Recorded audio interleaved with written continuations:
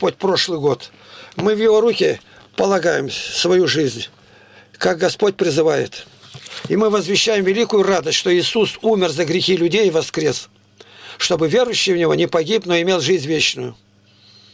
Ну, у вас Иисус, у нас Аллах. А вы Библию прочитали хоть раз? Нет, но мы, короче, Коран читали. Ха- Вот, вот эту Да, книгу, да. в эту книгу ты прочитал хоть раз? Не до конца, Нет. я, короче... Я говорю, две тысячи мусульман передо мной прошло за пять месяцев, и ни один не просчитал. Как это так? Как это? Ни один не просчитал. А мы Библию, вот если вы зайдете, допустим, у баптистов, потом у других, сто процентов считали Библию. Как вам сказать, я пока что намаз не делаю, я только к 20 или к 25 смогу сделать, потому что, ну, я еще не дорос до этого, но Понятно. Я спрашиваю у мусульман, что самое ценное? Они не знают. Я говорю, намаз пятикратный, а у нас семикратный. После нашего намаза мы еще сто поклонов делаем. как вам сказать, у нас, короче, есть, которые одни, короче, пустозвоны и другие нормальные люди, которые нормально делают намаз. Вот у нас женщины Да. на храме, в храм ходят, два платка, как хиджаб надеты, нас за мусульман считают. Платье до полу. У нас нет ни абортов, ни разводов. В рот мы алкоголя не берем. Свинину, другое мясо в дом не запускаем.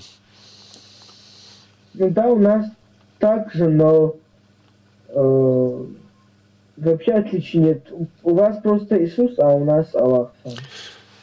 Ну да, я по своей книге говорю, но вот в вашей книге, пятая сура, пятая, 47 и 66 аяты говорят о нас. Мы называемся люди Писания. А Писание в то время, в седьмом веке, когда вам книга эта была написана, там не было другой книги, кроме Библии. То есть мы называемся люди Библии. И дальше говорит, нам Бог дал инжил. Инжил – это Евангелие. И в Евангелии нам все написано, что Иисус умер, распятый и воскрес. Я ссыла- ссылаюсь на Евангелие, ну а ты сам смотри, подходишь под это или нет. Ну это да, но мы просто вот сами отличаемся. Вы христиане, мы сами мусульмане. Мы, короче, во многом похожи, но говорят, что мы, ну, побольше, короче. Мы похожи должны быть в любви друг к другу, в первую очередь. Да, Не да. воевать друг против друга. Мы должны одинаково признавать, что Бог единый. Только мы признаем в. Святой Троице, а вы этого не знаете. Но мы должны все иметь Спасителя, который освободил бы. За нас умер Христос. У вас этого нету.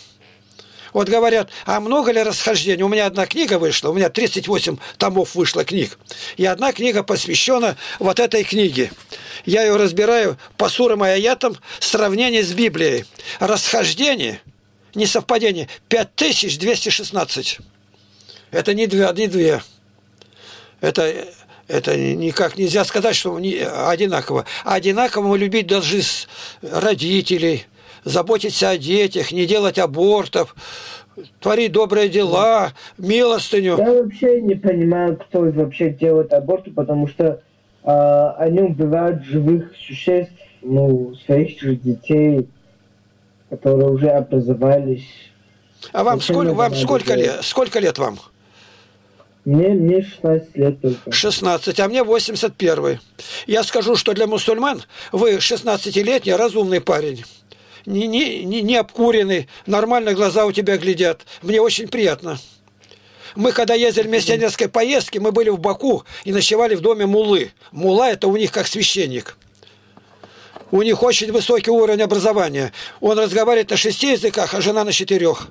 У нас в православии я такого ни одного не встречал пока. Ну, я знаю. Короче, я только знаю из этих, ну, многобожьих, из, ну, ну, которые верят в э, многобожьих, вернее, у них не один бог, как у нас, а у них, короче, много. И говорят, типа, кто верит в много, в многобожьих, извините за мой русский, я не, хоро- не хорошо говорю, поэтому... У нас символ веры, кредо, называется «Верую во единого Бога». Слова «во единого Бога» на первом месте. Но только у нас Бог в Троице, Он единый в трех лицах. Но у нас не Да, два да. Бога, один. А у них, а у них многобожие, у них например, есть бог солнца, бог А, воды. Это про индусов, короче. И типа говорят, что э, у Аллах, Аллах, короче, един, и если там будет многобожие, то если, если человек, типа, ну, эм, э, верит в многобожие, то он обязательно попадет в ад, ну, поплатится за это. Ну, всего вам Ну, хорошего. Вас как звать-то? Спасибо. Меня Аслан. Аслан. Я Игнатий Тихонович Щелапкин. Я помолюсь, чтобы. Господь был с вами, чтобы нам не погибнуть, чтобы быть в Царстве Небесном, не в аду. Спасибо. Храни вас Господь. До свидания. Принесли сюда свет Библии, чтобы люди не творили беззакония, мужеложество, которое здесь развито, всякое безумие, возвестить великую Божью любовь, что Иисус умер за грехи людей и воскрес, и зовет всех к покаянию, чтобы жили по заповедям Божьим. Вот если за слова к вам обращаю, не переключай. Ты знаешь, мой дядька? Да, великая милость Божия, что нам позволил Господь встретиться сегодня трезвыми. Мы Да. принесли в свет Библии Евангелия, которое у вас называется Инжил. Чтобы Да. люди знали, что Иисус Христос умер за грехи людей и воскрес, и всех зовет к покаянию. Чтобы жили свято, чисто. Угу. Мне сейчас один зашел и, и говорит, ну а как мужчина любит мужчину? Я говорю, вы садомитов называете? Я не могу избавиться. Я говорю, очень легко избавиться. Определите паспорт, шенгенскую зону и поезжайте в Саудовскую Аравию или в Тунис. Вам руки свяжут с 24 этажа вниз головой. Там долго разговаривать не буду с вами. И все. Почему вы гей-парады там не делаете? Почему? А, я им ответил, почему. Наказания А, нету. да. Почему при Гитлере не делали, при Сталине не делали? Почему? А да потому что распустили власть. Потому что среди мусульман не заиграешься. Там живо тебе рога отпилят. Правильно. Мне это очень нравится. Вот у нас рассуждают от школы на сколько метров пивной ларек построить. Ой-ой-ой, то он не добежит ребенок туда. Я говорю, а почему у мусульман этих вопросов не ставят? А потому что за пьянку его голову, говорит, на штахет. И все кончилось. В Китае коррупционер, тут же расстреляли его на стадионе. А в России разворовали государство, и вопросов нету. Я не за казнь, но за то, что не надо обманывать людей. Надо убивать тех, кто ворует. Надо жить свято. Вот на меня закон этот не действует. Почему? А мы этого ничего не делаем. Спрашивают меня мусульмане. Это вы Евангелие показываете, а у нас другая книга. Я говорю, вот это может быть. Ой-ой-ой, а да, да. Я говорю, считай, что написано. Ты должен знать. Я говорю, у вас седьмая сура, пятая сура, 47 аят, 66 написано про нас, люди Писания. Это о нас говорится, о христианах. И нам дан Инжил Евангелие. Инжил Евангелие. А я знаете, что считаю? Да, мы ве- верим в это. Верим, что Христос пришел во плоти, о чем говорит евангелист Иоанн в первом послании. А знаете, что я считаю? Что писал? Нет, что я считаю. Что вы считаете? Да. Сейчас, в данный момент, я не знаю. Я считаю, что людей делить на конфессии, национальности и вероисповедание и так далее. это Знаете, я скажу, что конфессия, деноминация, все это враг придумал. Под этим покрывалом гнилым слово «ересь». В Библии есть верующие, христианин и еретик. А еретики там разные-разные баптисты, адвентисты, пятидесятники, иеговисты. Они конфессия, деноминация. Это ложь, демонизация.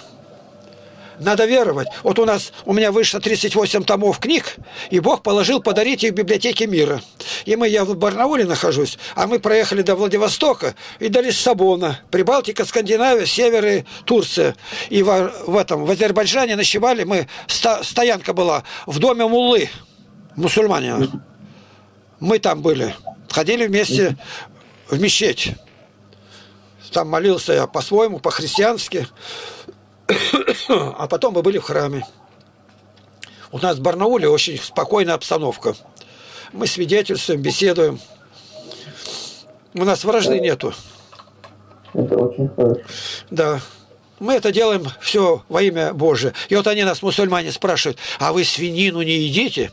Я говорю, у нас вообще мяса... Нет, как нету? А мы никакое не едим. Ни верблюда, ни лошадей, ни собак, никого. Просто не едим. У нас растительная пища. А пьете? Я говорю, в рот не берем. У нас женщины одеваются, два платка вот так вот, вы зайдете, если сайт, увидите, как хиджаб. Мужчины все с бородами. А тут работают на дорогах, делают там узбе, узбеки, туркмены. А они, когда увидят наших мусульманки идут, я говорю, это православные. Нет, это наши сестры. А дорога нас за вахабитов принимали. А мы все с бородами. У нас бороду нельзя трогать, ни усы, ни бороду. Вот, смотри, вот, моложе меня, сынок, ну-ка подойди сюда. Владимир. А, алло заняты там со своим. Вот вы если зайдете на наш YouTube, называется «Во свете Библии», и там вы увидите, как у нас люди одеваются, как мы деревню строим православную, где нельзя лгать, пить, курить, материться и воровать. А вы где находитесь? Алтайский край. Mm. Это от Барнаула 150 километров. А, а. а чем вы занимаетесь? А? Чем вы занимаетесь на данный момент? Сель, сельское хозяйство, там держат коров, коз, овечек, птицу. Была пасека, но сейчас нету. То есть и у старосты, у него 430 гектар пашни, пшеница, ячмень, горох, лен, гречка.